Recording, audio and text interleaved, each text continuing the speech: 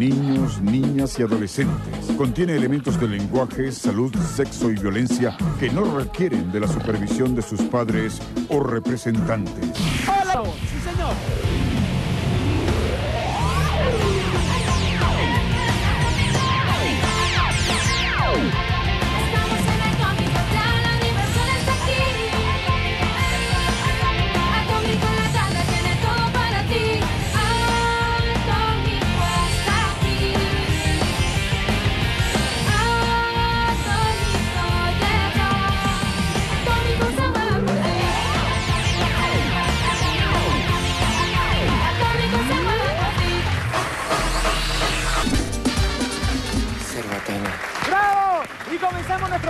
Bailando al ritmo de Cerbatana, pero mi pregunta es, ¿ya está listo el gran reto? Averigüémosle, vámonos para allá.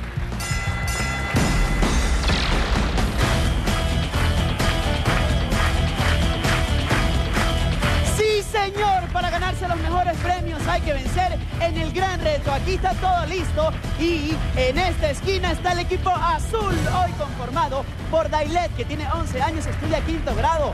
La acompaña Samuel, que tiene 11 años, estudia quinto grado. Y del equipo azul, ¿quién está en el área de juegos físicos? Completando el equipo azul, aquí tenemos a Diana. ¿Cuántos años tienes? 14. 14. ¿Cuántos- ¿Cómo se llama tu colegio? Eh, eh, me lo dices después, te lo dejo de tarea, Manuel. Vamos a conocer al equipo rojo. En esta otra esquina está el equipo rojo, hoy conformado por Jan que tiene 12 años, estudia séptimo grado. También está Joan, que tiene 12 años, estudia sexto grado. Y del equipo rojo, ¿quién está en el área de juegos físicos? Aquí tenemos a Jan Lady. ¿Cuántos años tienes? 11. ¿Cuál es tu materia favorita? Matemática. ¿Lista para jugar? Sí. Bueno, Manuel, ya está dicho. Vamos Gracias Juan. Carlos, solo me falta recordarles el reglamento de los competidores. Muchachos, recuerden que Gran Reto es como una competencia de boxeo dividida en tres rounds donde deberán responder diversas preguntas que pueden tener varias partes como reto, doble reto o juego físico. Al finalizar el primero y el segundo asalto, el equipo que acumule mayor puntuación va a escoger uno de esos sacos donde puede conseguir un premio. O puede ser que consiga una sorpresa que no es tan buena como el premio. Una preguntita, ¿estamos claros con el reglamento? Sí. Sí, señor. Y el combate de conocimientos arranca en el primer round. Primer round. La primera categoría es cosas que sorprenden. La primera pregunta va para el equipo azul y esto se decidió en un sorteo previo al programa. Equipo azul, oído con la pregunta que dice así.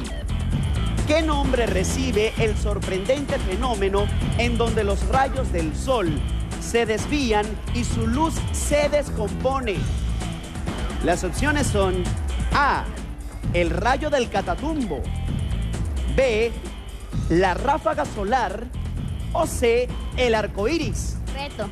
Reto, ahora vale 20 puntos la pregunta y pasa al equipo rojo. Es la misma. ¿Qué nombre recibe el sorprendente fenómeno en donde los rayos del sol se desvían y su luz se descompone?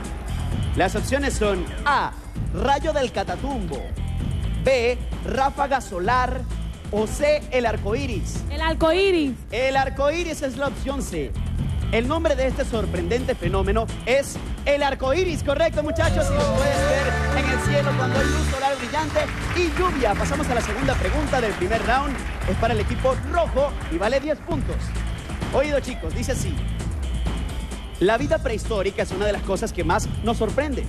Ustedes sabrían decirme de qué se alimentaban los enormes triceratops. Las opciones son A, solo de pescado, B, de otros dinosaurios o C, de plantas y vegetales. Si tienen dudas pueden retar a sus oponentes. Son 10 puntos inicialmente. ¿Qué dice el equipo rojo? Vamos muchachos. De plantas y vegetales. de plantas y vegetales. Los triceratops eran animales herbívoros, por lo tanto se alimentaban de plantas y vegetales. Correcto, muchachos. 10 puntos más para el equipo rojo. Y llegamos a la última pregunta del primer round. Les recuerdo a los equipos que jueguen de la mejor manera, porque el que acumule mayor puntuación va a escoger uno de esos sacos donde puede conseguir un premio.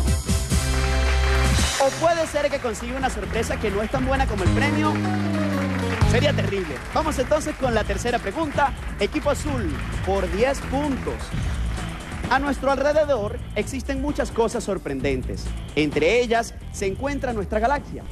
¿Me sabrían decir con cuál otro nombre se conoce a nuestra galaxia? Las opciones son A, la Vía Láctea, B, la Vía Terrenal o C, el Sistema Solar. ¿Qué dice el equipo azul? ¿Puede retar a sus oponentes? Esto es un combate de conocimientos. La opción A. La opción A es la Vía Láctea. Nuestra galaxia también se conoce como la Vía Láctea, correcto muchachos.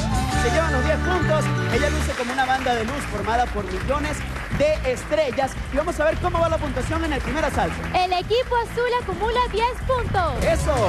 Y el equipo rojo obtiene 30 puntos. 7, 8, 9, fuera. Culmina el primer round, el equipo rojo está en la delantera, muchachos. Deben tomar la decisión.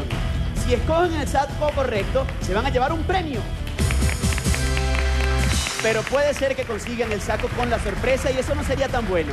Ustedes dicen un número del 1 al 3. Un número del 1 al 3. Ustedes deciden. Al micrófono. Uno. El 1. ¿Prefieren el 1 rojo o el 1 azul, chicos? Azul. El 1 azul. Azul. Y se llevan un fabuloso juego de mesa. Un juego de mesa. Qué bueno, consiguieron el premio.